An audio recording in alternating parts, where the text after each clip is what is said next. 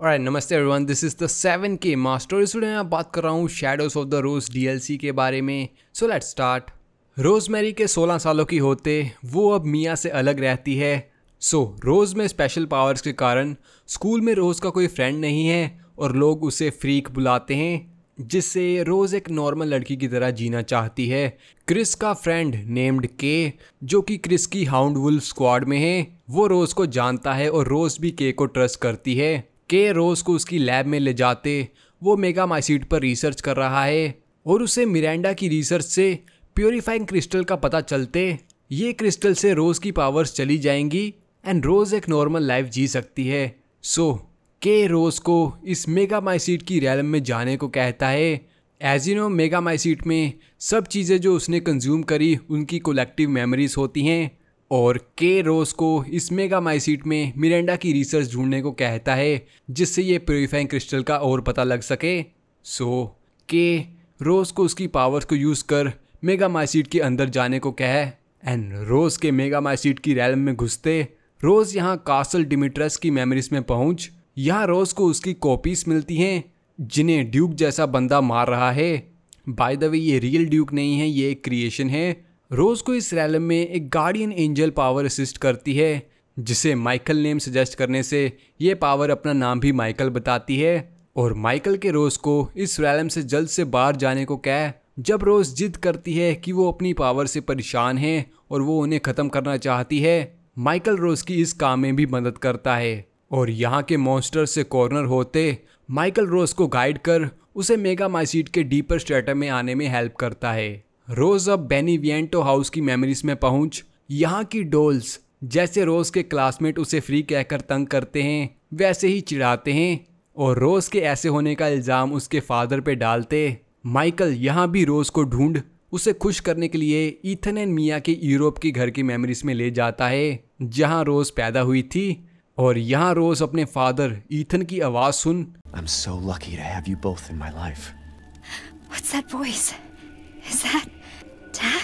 और ईथन द्वारा लिखे एक लेटर को पढ़, रोज को इस लेटर में कंफर्ट लेते देख एवलिन जो कि खुद फैमिली बनाना चाहती थी और वो रोज से जलती है एवलिन वो प्योरीफाइंग क्रिस्टल इस स्ट्रेटम में नहीं, बल्कि मेगा माइजीट में बहुत डीप है ये बता, उसे यहाँ मारने की कोशिश करती है बट माइकल यहाँ भी रोज को गाइड कर, उसे एवलिन को हराने में मदद करता है बट रोज द्वारा एवलिन से कोई प्यार नहीं करता ये सुनते, वो गुस्से से पागल हो ईथन अपनी फ़िज़िकल फॉर्म में रोज को मेगा मासीट में डीप फेंकते एवलिन से बचाता है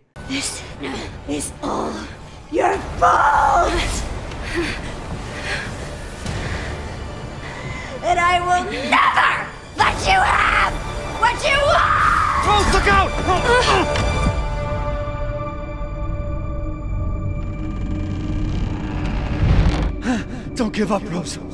Find that crystal. Now Rose are एट के विलेज में पहुँच, वो यहाँ माइकल ही उसके फादर ईथन थे, जो उसे अभी तक गाइड कर रहे थे, ये समझ जाती है। एंड नाव रोज के इस क्रिस्टल के इतना नज़दीक आ, वो अब पीछे नहीं हट सकती। और रोज यहाँ की एक गुफा में उसकी कॉपीज बनती देख, वो यहाँ मिरांडा की रिसर्च लैब में पढ़ती है कि, यस, रोज एवलिन की परफेक्ट वेसल है, बट रोज की पावर्स बहुत ज़्यादा हैं, जिससे मिरांडा रोज को एवलिन में ट्रांसफ़र नहीं कर सकती। सो so, उसने रोज की कॉपीज बनाकर देखी बट ये कॉपीज मिरांडा की डॉटर की वैसल की तरह वर्क नहीं करती।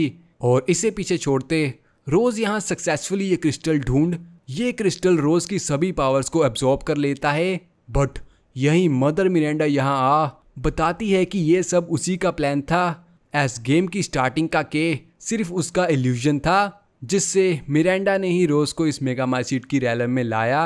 नाउ मिरांडा रिवील करती है कि अगर रोज की बॉडी से उसकी पावर चली जाए तो फिर वो उसकी बेटी ईवा की परफेक्ट वैसल बनेगी सो यस मिरांडा अभी भी अपनी डॉटर को ज़िंदा करना चाहती है बट ईथन विंटर्स यहाँ अपनी डॉटर को बचाता है Rose, run!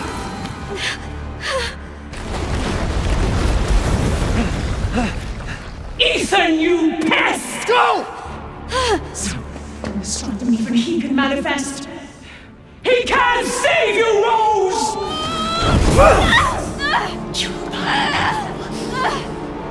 Get away from my father! Stay away from my family!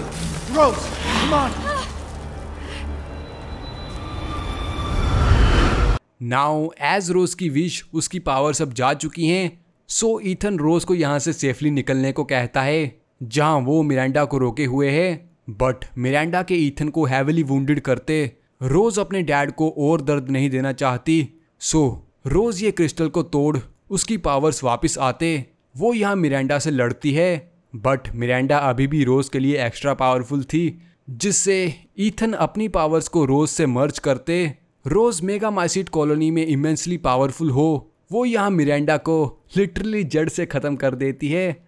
Now Ethan अपनी बेटी से माफ़ी माँगता है। कि वो उसके बड़ा होते उनके साथ नहीं रह सका और अब रोज़ अपनी पावर्स भी ख़त्म नहीं कर पाएगी बट रोज़ अपनी पावर्स को एम्ब्रेस करते वो अपनी पावर्स की वैल्यू समझ वो अपने डैड को उन्होंने हर मोड़ पर उसे प्रोटेक्ट किया ये बताती है All you've ever done is protect me.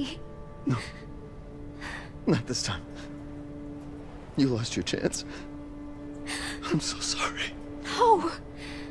It was my choice. And I don't regret it one bit. If I had left you, then we never would have had this chance to talk face to face.